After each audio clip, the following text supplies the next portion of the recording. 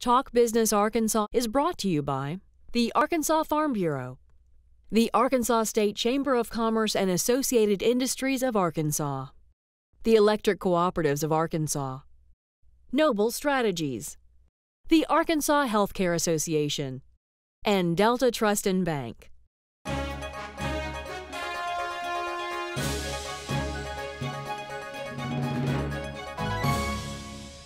Joining me now is Dave Ramsey. He is the associate editor at the Arkansas Times. He is my go-to guy on what's happening with the private option and health insurance exchanges in Arkansas. Thanks for being here. Thanks for having me, Roby.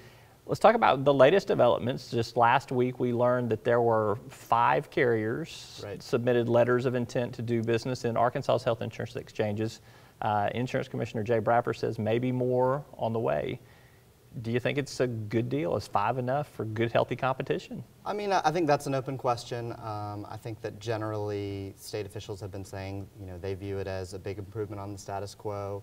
Um, you know, in terms of a number, is five enough? Uh, it's, it's definitely, um, there should be pretty good competition between five carriers.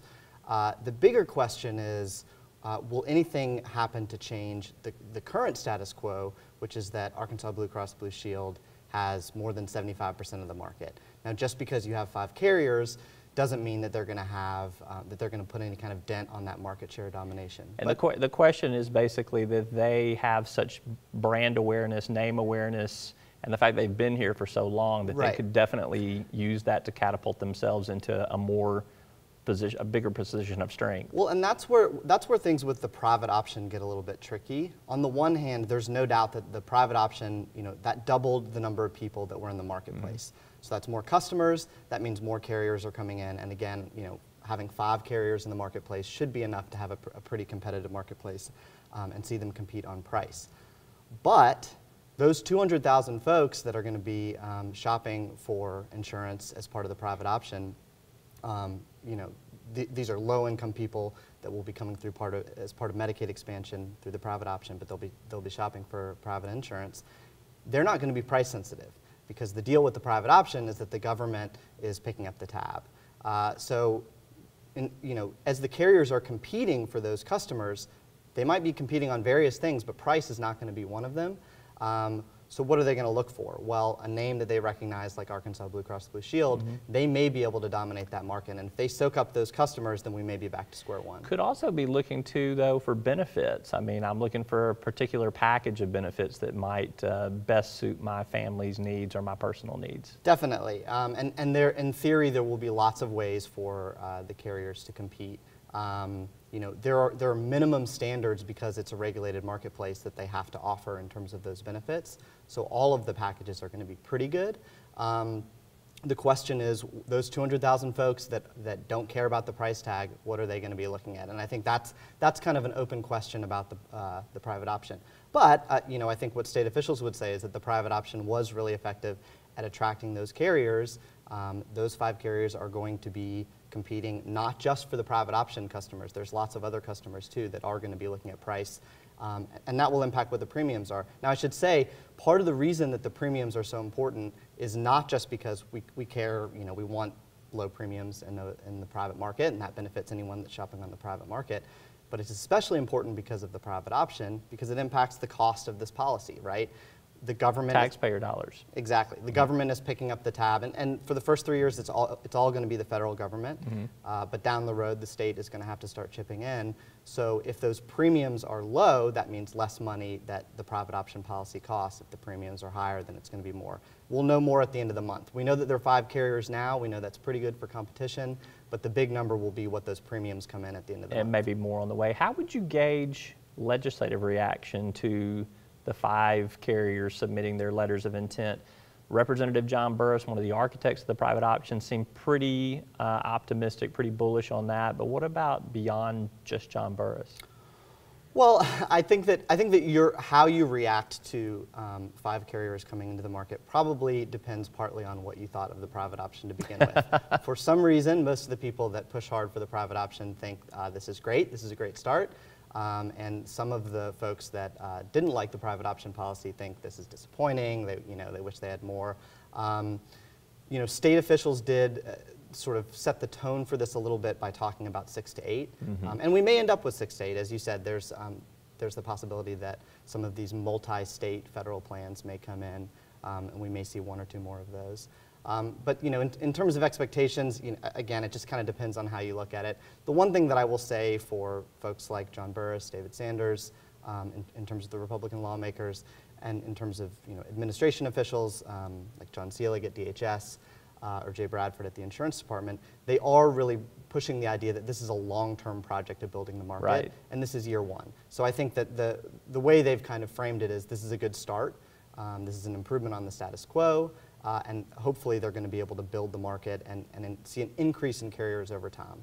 Let's take a quick commercial break. I want to come back and talk about what some other states are doing and then what might be on the uh, horizon for uh, private option and health insurance exchanges. I'm Roby Brock. This is Talk Business. We are back right after the break.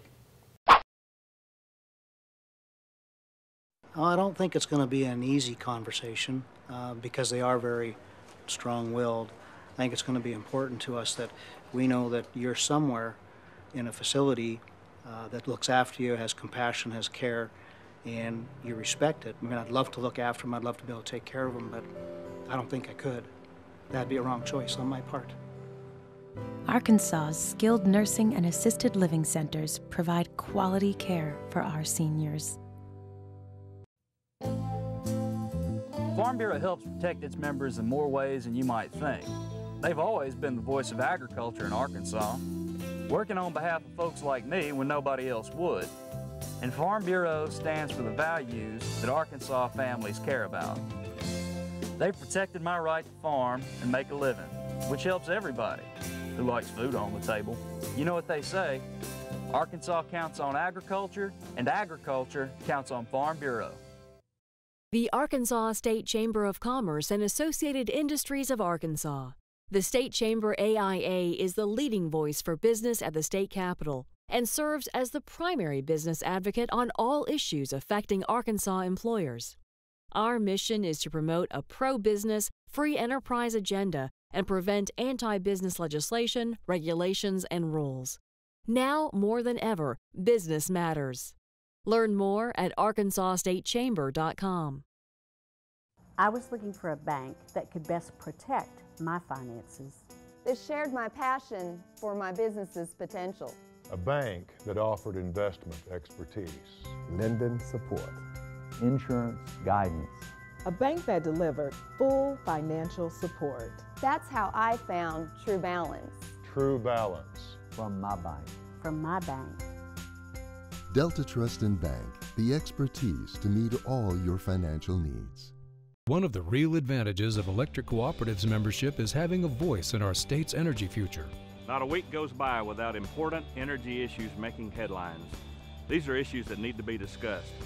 And you should know that as policies are being developed, the cooperatives are looking out for our members, advocating what's best for you. We are your friends and neighbors. We are your local electric company. The electric cooperatives. We are, East Harding Construction. East Harding has provided client focused construction services for commercial construction projects in Arkansas since 1974. Want your next project delivered safely, on budget, and on schedule by an Arkansas based company you can trust? Visit www.eastharding.com or call Van Tilbury, President and CEO, at 501 661 1646. East Harding, client focused construction. And we are back with Dave Ramsey. He's associate editor of the Arkansas Times, the guru on the health insurance exchanges, the private option, all things health insurance in Arkansas. Um, all right, so before the break, we're talking about uh, the five carriers that have submitted letters of intent to Right. uh, do business in Arkansas with the health insurance exchange. Um, what about what's happening in other states with the private option and their health insurance exchanges? What are you kind of seeing that kind of piques your interest there?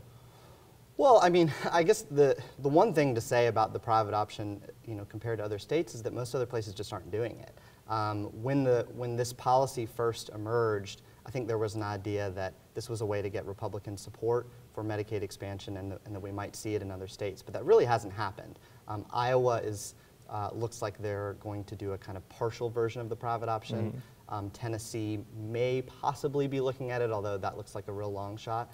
So um, one thing that stands out is just how unique it is. Um, and if you look at, a, if you know, it looks like about half the states are going to opt into Medicaid expansion and half are going to opt out. Um, and if you look at kind of a, a, map of this, what strikes you is that the South basically opted out except for Arkansas. Yeah. And, and, the private option sort of was this way forward for them. Um, in terms of the exchanges, you know, we have public information of about a dozen states um, in terms of how many carriers are going to be selling on the mm-hmm. exchange. Mm -hmm. Um, some of them have more than 10. That's obviously, you know, that would be a long-term goal. Larger population states primarily. These are, these are largely bigger states. Mm -hmm. um, some of them have, New, ha New Hampshire is only going to have one, so they're not going to have any competition wow. at all. So it, it, you know, you can kind of see how, how, it, how it's going in different places.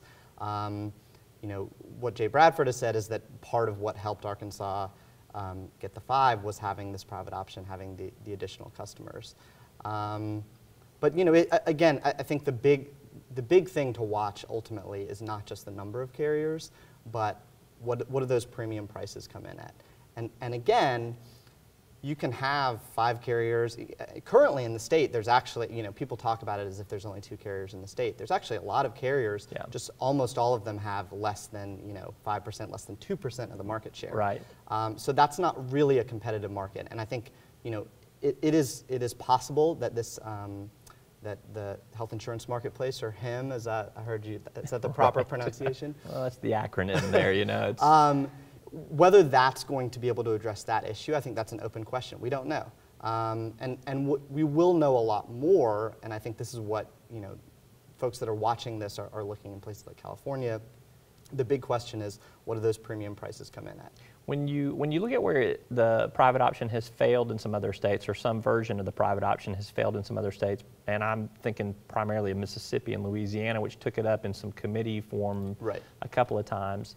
Um, did it just seem to be a political football that uh, Democrats kind of brought up just so that they could – let the Republicans kind of spike it in their faces and well, move I think, on? I, I mean, think it, that it they, didn't seem to be an earnest effort to make it happen. Well, I think that, the, I mean, I think that the problem was there wasn't interest on uh, the Republican side in those states in, in doing it. Um, it was brought up, it was different than Arkansas because the idea was kind of, kind of brought forward by Democratic legislators, um, both in, in Louisiana and Mississippi.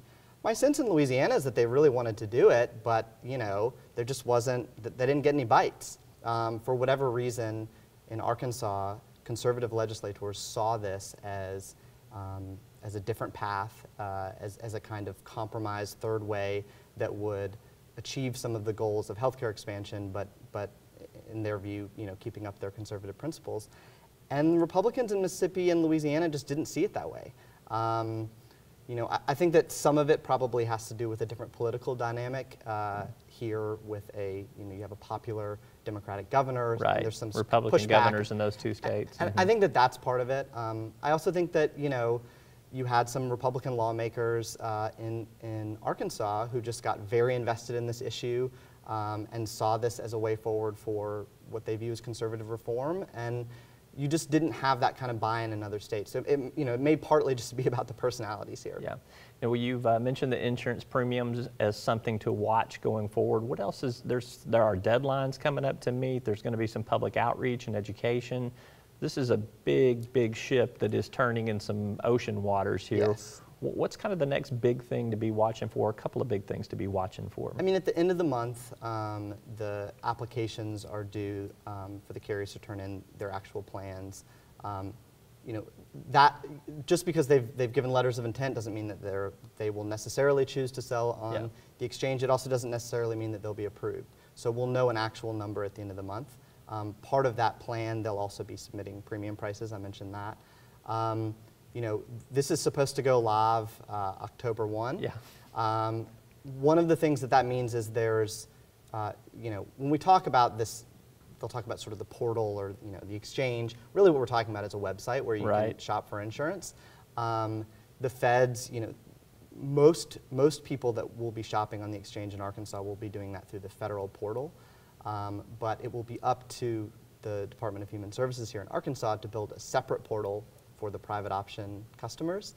Um, and that takes a lot of work. Uh, so they're going to be, you know, they're going to be in a dogfight to get that up by October 1.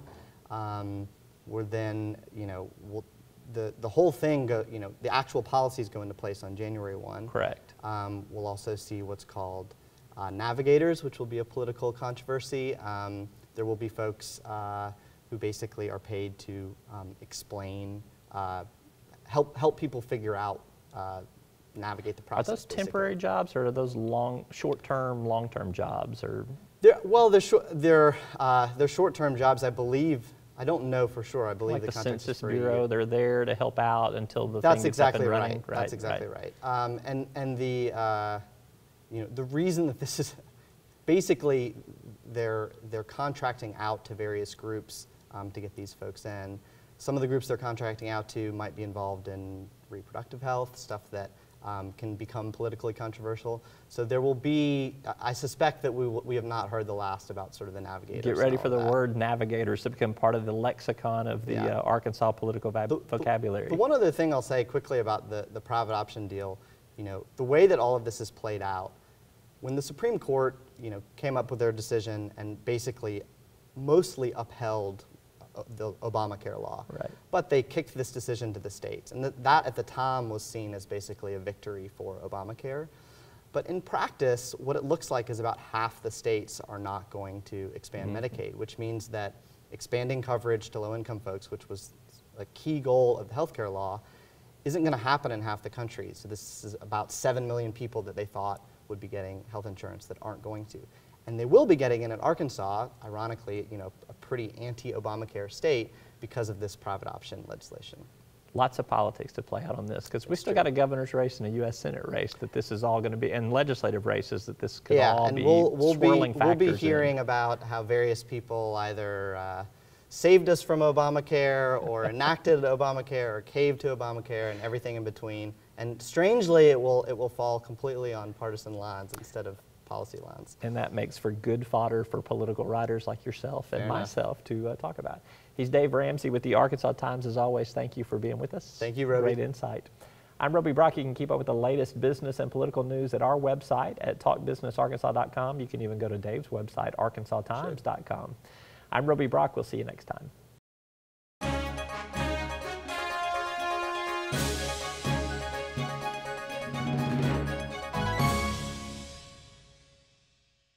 Talk Business Arkansas is brought to you by the Arkansas Farm Bureau, the Arkansas State Chamber of Commerce and Associated Industries of Arkansas, the Electric Cooperatives of Arkansas, Noble Strategies, the Arkansas Healthcare Association, and Delta Trust and Bank.